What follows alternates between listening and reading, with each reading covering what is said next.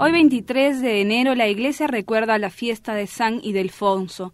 El amor a la Virgen María ha estado presente en la vida de los santos a lo largo de la historia de la iglesia.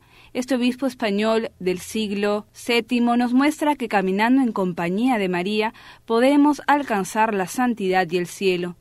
Nació en Toledo en torno al año 608 y sus padres, con muchas familias nobles y cristianas de aquellos tiempos, le enviaron a estudiar al monasterio de Agalia, en las afueras de la ciudad. Toledo era entonces la capital de España y allí se concentraba la corte real y el saber de la península. Ildefonso sintonizó sin problemas con la vida de los monjes, a los que admiraba profundamente y con el paso de los años va tomando más consistencia en su corazón el deseo de abrazar la vida religiosa. En Sevilla se encontraba el mayor sabio de aquellos tiempos, San Isidoro, considerado como el puente intelectual de todo el saber de la antigüedad a la Edad Media.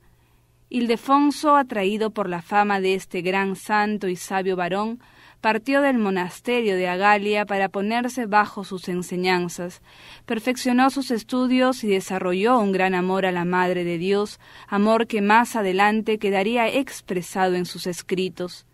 En el año 633 tenía ya cumplidos los 25 años y decide volver a Toledo para ordenarse de diácono. Su amor a la oración y perfección cristiana le hacen recogerse nuevamente en el monasterio de Agalia, en una de sus prioridades funda un monasterio femenino al cual dota con la venta de varios de sus bienes. Hacia el año 650 es elegido abad. Contra su voluntad y haciéndose verdadera violencia, fue escogido el año 657 para suceder a San Eugenio como arzobispo de Toledo. Muchos infieles ponían en duda la virginidad de María y San Ildefonso escribe su libro de la perpetua virginidad de Santa María.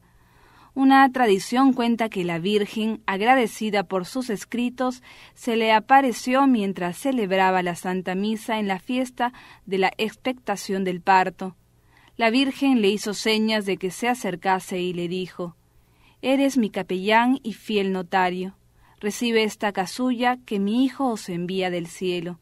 Para conmemorar esta aparición, el concilio de Toledo mandó que se celebrase todos los años, el día 21 de enero, el descendimiento de la Virgen y su aparición a San Ildefonso. Su trabajo pastoral se centró en la catequesis de sus fieles, para los que compuso la instrucción pastoral sobre el bautismo marcha por el desierto del Espíritu y continuó el tratado de hombres ilustres de la Iglesia que había empezado el gran San Isidoro.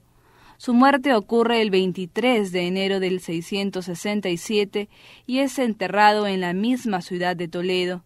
Más tarde su cuerpo fue trasladado a la Catedral de Zamora, donde se encuentra en la actualidad.